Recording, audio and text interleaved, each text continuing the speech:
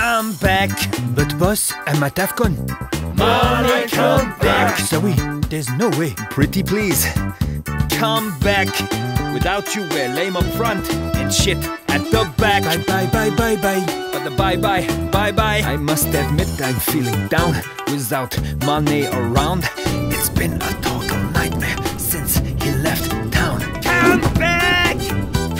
for me and for the boys, or we'll crash out of more cups and get bombed by the rent boys. Come back!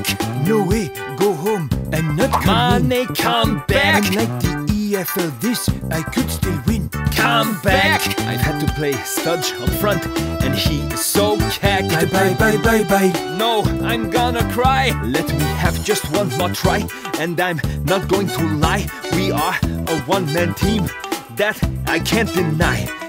Can needs to be canned. Lovren's lame, our team's a mess, and our bench is weaker than someone with MS. Come back! No way, go home. I'm not coming.